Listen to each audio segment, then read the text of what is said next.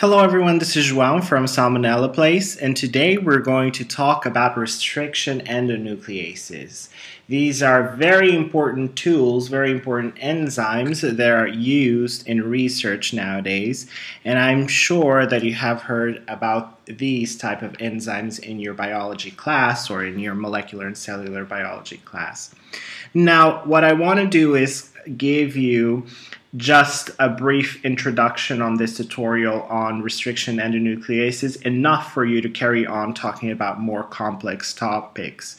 Now, as I mentioned before, these are enzymes. So these are enzymes that are able to cleave DNA. And by cleaving DNA, I mean by cutting DNA at specific sites, as you can see here, and then it can be used to manipulate this molecule or to use it for further research. But we're going to understand how restriction endonucleases work on the DNA molecule on this tutorial. Before we go into more details on restriction endonucleases, I would like to give you two brief definitions. The first one is restriction, present in the name restriction endonucleases. Restriction basically means that you are breaking a double-stranded DNA into fragments, very important, by a restriction enzyme. So basically, in other words, a restriction means that you're going to cleave or cut a DNA molecule into smaller fragments. And this is definitely part of the function of endonucleases or restriction endonucleases. Now, the second definition that I would like to give you is modification, and this means that changes in an organism caused by environment or an activity also can be caused by enzymes because you're going to see enzymes that are called modification something something aces and what they do is they they change the organism in such way uh, but in a way that is not transmissible to the offspring. So whatever change is caused in modification, the offspring will not have it. So we talked about restriction versus modification, so we can start understanding what restriction endonucleases do. Now I need to make a distinction between endonucleases versus exonucleases because you will also see uh, in biology a lot of en enzymes with the name exonucleases.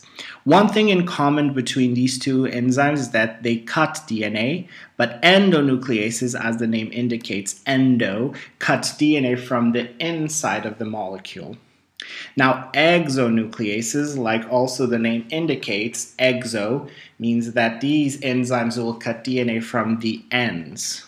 And I have here an illustration, a simple illustration that shows a DNA molecule and where these enzymes will usually act. So you can see at the extremities or the ends of the molecule, exonucleases acting or cutting DNA pieces of DNA and usually in the center or somewhere inside of the molecule you will find endo nucleases. So endonucleases. So now you're starting to see what a restriction endonuclease will do.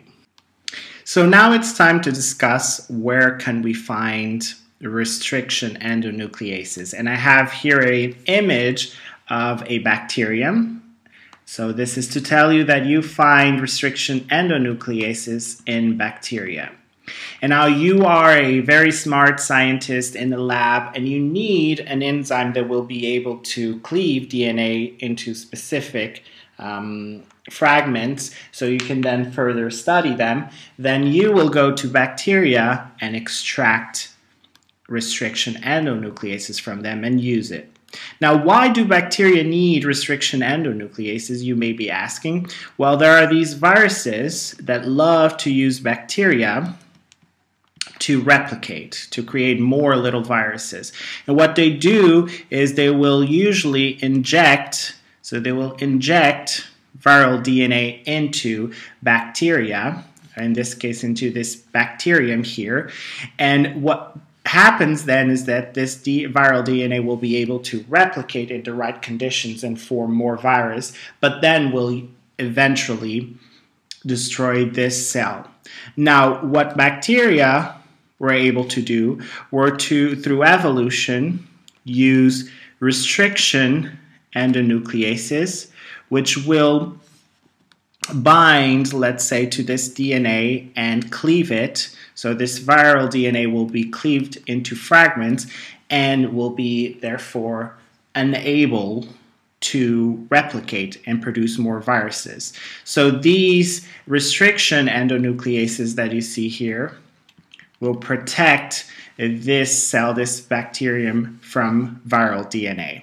Now, you may be asking if these restriction endonucleases cleave the viral DNA into fragments, preventing it from replicating and creating more viruses, how do bacteria found a way to protect their own DNA, as you can see here. This is bacterial DNA. So how do, you, do they protect them?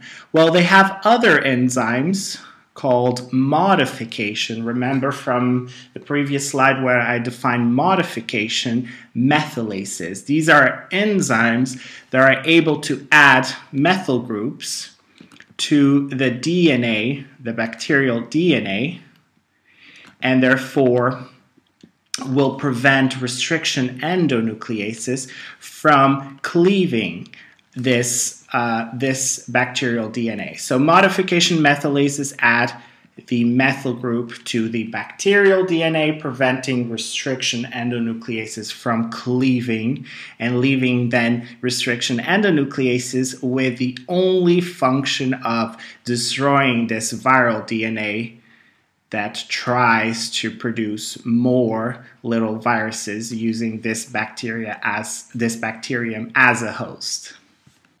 So what I have been telling you so far is that restriction endonucleases are enzymes that cleave DNA, the DNA molecule are at particular sites.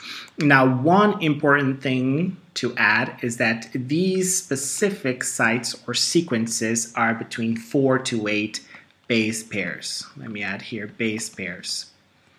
These sequences are known as palindromic sequences, which means that they can be read the same way both forward and backwards. And an example or two examples of these sequences, I have two here, that you can see that if we read G-A-A-T-T-C, and if we go backwards, we also read G-A-A-T-T-C. So this is a palindromic sequences. Now, restriction endonucleases will find these type of sequences in a DNA molecule and then use them to cleave at that particular site or sequence. Now, I have two examples here of palindromic sequences because I need to also tell you that restriction endonucleases are able to cleave in two different ways. Now, the first one that we have here is a palindromic sequence that is associated to this restriction endonuclease known as EcoR1, which is found in E. coli bacteria. And this palindromic sequence belongs to or is associated to this restriction endonuclease known as ALU1. Now, what EcoR1 does when it finds this particular palindromic sequence, it will cleave or will produce a staggered cleavage, which is done in this manner. So this is a staggered cleavage. And ALU1 will do it differently. It will do a direct cleavage. This is the way this enzyme will cleave this particular or at this particular sequence. Now what will happen is there are different ends created in the DNA molecule. So as you can see here, the DNA molecule has been split or cut into two different parts and they're left with different types of ends. This way here, two different, um, two different ends. And you can see that at the ends, we're left with a few nucleotides that have no other nucleotides bound to them. So we call that these ends sticky ends meaning that due to the fact that those nucleotides are left without no other nucleotides bound to them, then at some point you can use them to bind other nucleotides and form, for example, recombinant DNA. So this is very useful and it's known as sticky ends. You can also call them cohesive ends. Now, ALU1 or any direct cleavage will produce blunt ends. So the blunt ends, as you can see, that nucleotides are bound to one another. So there is no nucleotide left without a bond and no sticky ends formed. So on this last slide here, I would like to use this table to show you that for every restriction enzyme, or restriction endonuclease, sorry, there will be a, a corresponding recognition site. So every restriction endonuclease has a particular site that they're able to recognize and cleave at in on a DNA molecule. Now uh, here in the center you can find the sources or the bacteria where you find these particular res restriction endonucleases. Now as I mentioned before that EcoR1 is found in E. coli and has this GAA-TTC palindromic sequence that it's able to recognize and cleave um, precisely. Now, what I you also have here is a very small list because there, there is a much larger list on restriction endonucleases that are being used nowadays in research. And what you can do as a scientist is say if you have a DNA molecule then you can use different types of, of restriction endonucleases that are able to then cleave at the known sites, the recognition sites that you know. And you can just buy these restriction endonucleases that will serve to produce fragments that you can later use in research.